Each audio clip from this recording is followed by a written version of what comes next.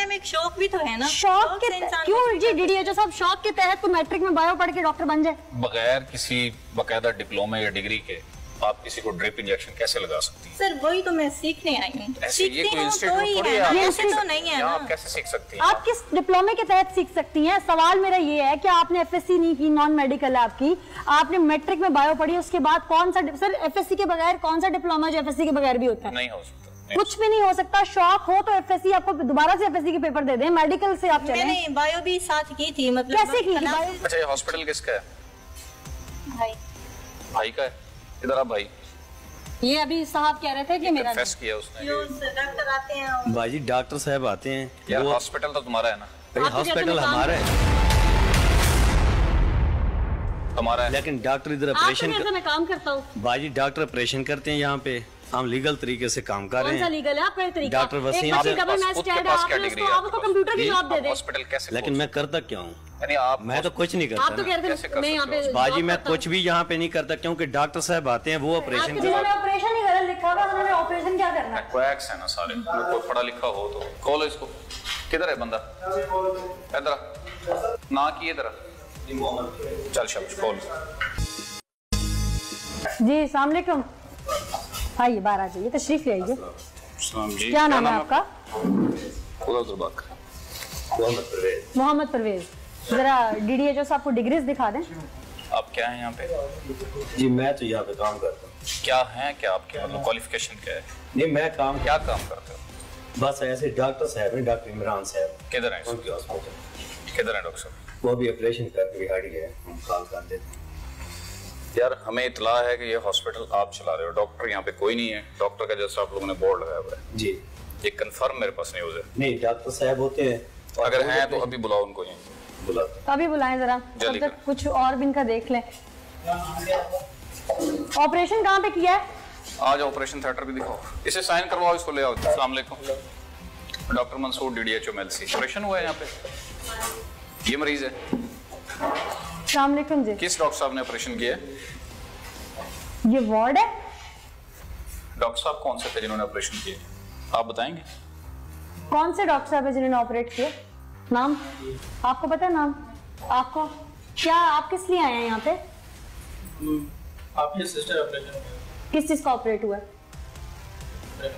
अच्छा। अच्छा। किस डॉक्टर साहब ने किया नहीं पता। ये हॉस्पिटल किसका है? न्यू बॉर्न बेबी जो है मौजूद है। आप कैमरा जरा फोकस कर रहे हैं वो न्यू बॉर्न बेबी भी मौजूद है। यहाँ पे और यहाँ पर अभी सी सेक्शन यानी कि डिलीवरी का जो है वो बड़ा ऑपरेशन जिसे आम फैम में कहा जाता है वो किया है। और एक दफ़ा सारे वार्ड की हालत भी मेरे कैमरामैन दिखा सकते हैं। डीडीएचओ हमारे साथ मौजूद है। क्या कोई हॉस्पिटल ऐसा होता है जहाँ पर मरीजों को सफ़ाई सुथराई या जिनकी बेसिक्स नीड है वो पूरी ना हो क्या ऐसा हॉस्पिटल होता है? नहीं बराबर ये चार पहियाँ डली हुई हैं बेड प्रॉपर नहीं है सफ़ाई का इंतज़ाम प्रॉपर नहीं है। आप ऑपरेशन थिएटर की हालत भी हम देख लेते हैं आपके सामने करेंगे कि जो चीज़ें हैं क्या इस तरह होता है मेरा ख्याल है ये भी ऐसे ही डॉक्टर बिल्कुल ऐसे लिखा हुआ है और यहाँ पे कोई डॉक्टर नहीं है। आप यहाँ पर स्टाफ है? बेटा क्या नाम है डीडीएचओ आपका? डॉक्टर मंसूर बात सुनो। क्या नाम है आपका? आपकी तो एज बड़ी कम है। क्या एज है आपकी? एज मेरी twenty five twenty five age है आपकी? बिल्कुल। आपने डिप्लोमा कौन सा किया हुआ? मैं यहाँ पे कोर्स करने आती हूँ और कहाँ से आती हैं? मैं शतानिया से ही आती हूँ। काम सीखने आती काम सीख रही जी बिल्कुल। क्वालिफिकेशन क्या है? जी B S C double math physics अच्छा B S C double math physics किया हुआ है तो आपकी तो फ़ील्ड ही नहीं है मैथ फिजिक्स के साथ मेडिकल की। पहले मेडिकल के साथ किया ना? हैं कब? एफएससी की? जी बिल्कुल। एफएससी करने से तो आप एफएससी सर एफएससी भी मैंने नॉन मेडिकल के साथ की थी फिर बायो भी मैंने पढ़ी थी। फिर बायो पढ़ कैसे ली जब आपने नॉन मेडिकल के साथ चल के सब मैट्रिक में मेरी बायो थी ना। मैट्रिक में बायो होना उससे आपका मेडिकल का प्रोफेशन कैसे जुड़ गया? बच्चे मैट्रिक में बायो तो मैंने भी पढ़ी शौक था मैम इसीलिए। शौक पे आकर किसी की जान से खेला जा सकता है। अब ऐसा तो है आपने कि मैं आपने मैथ स्टैट पढ़ा ना? आप एजुकेशन डिपार्टमेंट में जा सकती थी आप कोई भी और काम कर सकती थी मेडिकल से रिलेटेड आप कैसे कर रही हैं? मैं इसे नहीं जा सकी। एक ऐसा बंदा जिसने पढ़ा कुछ और हो और वो प्रोफेशन कोई और स्पेशली जो ज़िंदगी के साथ जिसमें ज़िंदगी मौत का सवाल हो ज़िंदगी बचानी है। मैम एक शौक भी तो है ना। शौक के क्यों जी डीडीएचओ साहब शौक के तहत तो मैट्रिक में बायो पढ़ के डॉक्टर बन जाए? बगैर किसी बकायदा डिप्लोमा या डिग्री के आप किसी को ड्रिप इंजेक्शन कैसे लगा सकती हैं? सर वही तो मैं सीखने आई हूँ। ऐसे ये कोई तो तो नहीं है आप कैसे सीख सकती हैं? आप किस डिप्लोमे के तहत सीख सकती हैं? सवाल मेरा ये है कि आपने एफएससी नहीं की नॉन मेडिकल है आपकी आपने मेट्रिक में बायो पढ़ी उसके बाद कौन सा सर एफएससी के बगैर कौन सा डिप्लोमा जो एफएससी के बगैर भी होता है? नहीं हो सकता कुछ भी नहीं हो सकता। शौक हो तो एफएससी आपको दोबारा से एफएससी के पेपर दे दें। मेडिकल से आप चलें। मैंने बायो भी साथ की थी मतलब कैसे की थी? बायो किसमें की जब थी? होती थी मैं आपको पता है बायो प्राइवेट नहीं होती। और बायो कोई ऐसा सब्जेक्ट नहीं है जिसको आप अलग से पढ़ लें। मैम देखिए मुझे एक शौक था कि मैं आप पढ़ी लिखी है ना? बायो में भी मैंने ऐसे बैठी रहती थी लेक्चर वगैरह होते थे मैं पढ़ती थी। ऐसे बैठ जाने से और डिग्री लेने में बड़ा फ़र्क है। आपके ख्याल में ये डॉक्टर साहब हैं इनको डिग्री छोड़ के शौक के तहत चलना चाहिए। क्या शौक है डॉक्टर साहब आपका? वो तो कुछ भी होगा। है ना हम अब गरीब फैमिली से हैं अब हम क्या करें? ठीक है आप कोई भी प्रोफेशन और अपनाइए लेकिन ये इंसानी ज़िंदगी का सवाल है। शौक के तहत अगर आपसे कोई बंदा इंसानी ज़िंदगी कोई जाया हो जाए फिर क्या शौक रहेगा? शौक में और तजुर्बे में फ़र्क होता है शौक में और डिग्री में फ़र्क होता है। आपको चाँद पे जाने का शौक होगा क्या शौक के तहत आप चली जाएँगी नासा में? क्या करती हैं आप? ये शौक नहीं है ये ज़िंदगी का सवाल है। तो हम सीख के ही करेंगे। सीख के कैसे करेंगे? डॉक्टर तो आपको बगैर डिग्री के नासा में कोई जाने देगा।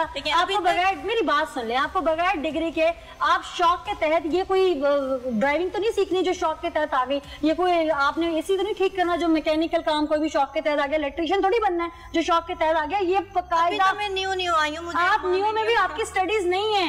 आप न्यू में भी इस प्रोफेशन में न्यू नहीं आ सकती। पहले बेटा कोई डिप्लोमा आपकी करना होता है स्टडीज़ उसके नहीं बाद है। आना होता आप पहले जाएँ कॉलेज से प्रॉपर डिप्लोमा स्टडीज़ लें इसकी डिग्री लें एफएससी करें आप अपना अपनी जो सेकेंडरी एजुकेशन है वो पूरी करें उसके बाद आप इस तरफ़ आए। अच्छा ये हॉस्पिटल किसका है? भाई। भाई का है? इधर आप भाई।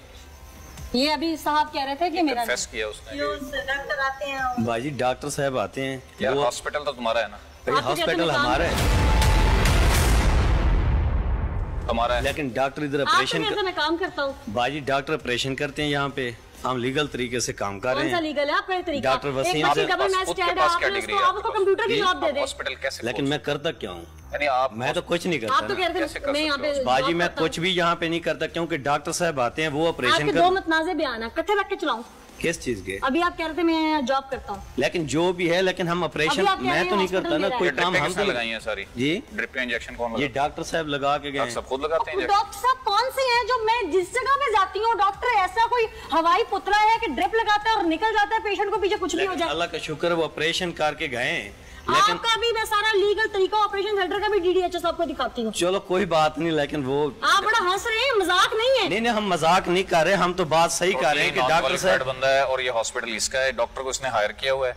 उसको ये पैसे देते हैं वो आता है ऑपरेशन करके चले जाते हैं उस डॉक्टर की कोई ऐसा कार्रवाई नहीं है लेकिन डॉक्टर साहब का बोर्ड है यानी कि वो बोर्ड होना ज़रूरी है। नहीं बाजी वो खुद ऑपरेशन करते हैं वो इधर ही होते हैं लेकिन वो अच्छा, आए। बाहर वज़ीर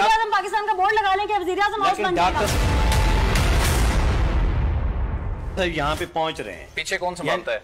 क्यों? मरीजों को कौन संभालता है लेकिन बाजी आपका का- डॉक्टर भी आले उसको ऑपरेशन थिएटर में पकड़ के ले जाएँगे साथ किस तरह से ऑपरेशन होते हैं। आ जाए आगे देखते हैं जी। ये एक और वार्ड है मेरे कैमरामैन दिखा सकते हैं। अस्सलाम वालेकुम जी। क्या हाल है आपका? किस चीज़ का ऑपरेशन हुआ है? पहले ऑपरेशन हुआ था बच्चे का। अच्छा आप क्या हुआ अभी वो पहले वाला ऑपरेशन जो है वो लीक अच्छा वो ऑपरेशन खराब हो गया। हाँ जी। अभी आप यहाँ पर आए कितने पैसे दिए यहाँ पे? दस हज़ार। में सरकारी में फ्री हो जाता है भाई। आप यहाँ पे क्या हुए डॉक्टर मंसूर डीडीएच एमएलसी मैं सर ऑपरेट करवाया। है। किसने ऑपरेशन किया डॉक्टर साहब? इसने तो नहीं किया ये जो खड़ा हुआ किधर गया? नहीं नहीं।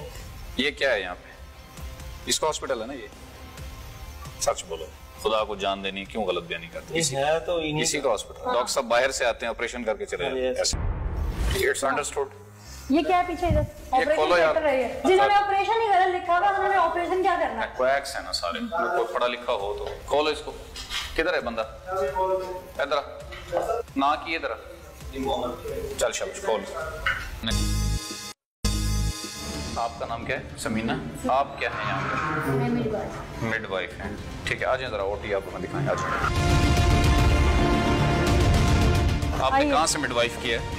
इधर आ इधर आ इधर आ जाए बात सुनिए बात सुनिए बात कहाँ से किया आपने कोर्स? मैंने से नर्सिंग काउंसिल से। नर्सिंग काउंसिल से किया। तो फिर तो आपको बुनियादी चीज़ों का एस का हर चीज़ का पता होगा। हाँ जी। पता है? आ जाए जरा विज़िट करवाएँ। आ जाओ ओटी में हाँ जी।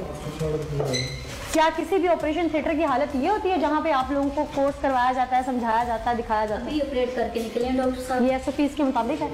ये ऑपरेशन थिएटर है। ये ऑपरेशन थिएटर का बेड है। ये उसकी शीट है। ये उसकी लाइट्स है। क्या है यहाँ पे? ये ऑपरेशन थिएटर है। क्यों? किस मरीज़ को ऑपरेट करके गए अभी? दोनों। दोनों के अभी हुए ऑपरेट क्यों भाई कितने? आधा घंटा हो गया तकरीबन। एक आधा घंटा तो हमें हो गया यहाँ पे। सारे एक घंटा हो गया अभी ऑपरेशन हुआ दोनों। ये हालत जो इस वक्त इस कमरे की है इसको स्टोर रूम कहते हैं या ऑपरेशन थिएटर कहते हैं इस टाइम तो ऐसी हालत होनी थी। कैसे? आपने कभी किसी हॉस्पिटल का ऑपरेशन थिएटर नहीं देखा? अगर आपने कोर्स किया हुआ तो। किसी का नहीं देखा आपने? ये देखो यूज़ सरिंजें पड़ी हुई हैं। आप आप लोग लोगों की जानों से खेल जाते हैं। ये जो हालात हालात और जो ये देखिए। कहाँ पे? मुझे बताइए कि स्टेलाइज कहाँ पे होती हैं ये चीज़ें? इधर आइए जरा। कहाँ पे होती हैं इस गंदे पानी में। नहीं। मेरे कैमरामैन दिखा सकते हैं जी। ये इधर आ इधर इधर आ, अंदर इधर भाई। अंदर इधर इधर ये तुम्हारा ऑपरेशन थिएटर ये और ये ऑपरेशन थिएटर है कहाँ ऑपरेशन थिएटर है ये? अभी ऑपरेशन ऑपरेशन थिएटर की तुम्हें बुनियादी चीज़ों का पता उसकी लाइट्स का है उसका सारा इक्विपमेंट का है। सफ़ाई का इंतज़ाम देखो। क्यों सर ये इसकी क्या एसओपीज होती है ऑपरेशन थिएटर की? क्या होना चाहिए ऑपरेशन थिएटर ये तो डॉक्टर साहब ही आपको बताएँगे। ये तुम यहाँ के ऑनर हो तुम्हें तो पता होगा डॉक्टर साहब ही बताएँगे क्योंकि मरीज- अब, अभी दो ऑपरेशन उन्होंने किए हैं। ये ताजे ऑपरेशन हुए हमने यानी कि कोई अंदर काम तो नहीं किया ना नीड्स टू बी लाइट्स कहाँ है इसकी ऑपरेशन करते हुए किस मरीज़ की वेन कट जाए आपको अंदाज़ा भी है इस चीज़ का? आपको ऑटोक्लेव का पता है? हाँ जी है। इसको नहीं पता ऑटोक्लेव का। किधर है ऑटोक्लेव कहाँ पे आप स्टरलाइज करते हैं सब चीज़ें? पढ़ाई। किधर पढ़ा दिखा दे तो हाँ अब तुम्हें पता चला ऑटोक्लेव क्या होता है? ले आओ इधर। ये देखिए ऑक्सीजन सिलेंडर ये किस चीज़ के इंजेक्शन है? ये जी ब्यूपी कैन BP ये एनेस्थीसिया में इस्तेमाल होता है इंजेक्शन एनेस्थीसिया स्पेशलिस्ट भी कोई नहीं इनके पास। आपकी टीम में से किसी के पास कोई ग्लव्स होंगे? डॉक्टर साहब इसकी जगह कहाँ होती है? एक्चुअली इसको ओटी में होना चाहिए। ये सारा जो जितने भी इंस्ट्रूमेंट्स ऑपरेट में यूज़ होते हैं वो पहले यहाँ स्टरलाइज होते हैं। कपड़े तक यहाँ स्टरलाइज होते हैं। लेकिन आई डोंट थिंक सो कि इन्होंने स्टरलाइज मुझे वर्किंग कंडीशन में भी नहीं लग रहा।